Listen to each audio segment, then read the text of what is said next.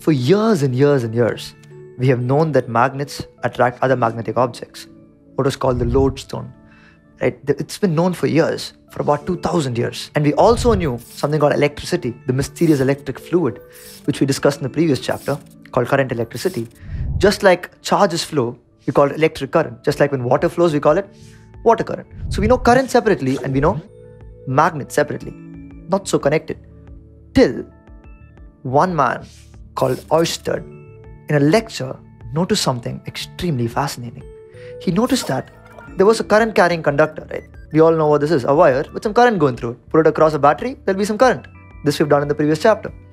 All of a sudden, he noticed that the compass needle next to this wire started to turn. And we, that was not expected. And we all know that this happens. When does it happen? When does a compass needle start deflecting from its original position? Yes, when you take a bar magnet next to it, right? But there is no bar magnet here. There is a wire carrying current, and this magnetic compass is beginning to turn next to that wire. So this was very fascinating. And he started playing with this. He started taking further and further away. The effect wasn't much. He brought it closer and closer. It started turning more. Then he switched off the power, and all of a sudden it went back to the old position it points to, which is north and south, as it always does. Now, this was very fascinating. Okay, he began to realize something very, very important. And what was that? Somehow, a current carrying conductor was behaving just like a magnet would. That's fascinating because we thought these two are separate. It was a moment, just like Newton realized, when the apple that falls down is the same thing as the moon falling into the earth.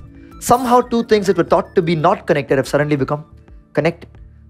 And that's one of the places where science makes a huge progress. So, what you see now, a current carrying conductor behaves very similarly to a magnet. So let's start playing with it even more. So let us take a current carrying wire and let us say that you know there are some charges going through it. We all know that they're going in some direction. So we would say the current is flowing in that particular direction. Imaginary positive charges. If that were the, that were true, then if I were to turn this wire this way, such that the wire is coming right at you, with the current flowing right at you, then let's imagine what would happen. If I were to take a compass and keep it in various points, he found something very, very fascinating. That the compass points in a direction that's tangential to an imaginary circle. Now that means what? That these field lines, like we define it, how do we define a field line? The direction in which the magnetic compass points at that particular point. The north pole of the compass points at that particular point. So you keep doing this. He, you know, he started connecting those points and he found a nice circle. You take it farther away and draw it, you get one more circle. You go closer and closer, you have cl- circles that are closer and smaller. You keep doing this, you realize that a current carrying conductor creates a magnetic field around it. In other words, it has an effect just like a magnet. Then, what do we do now?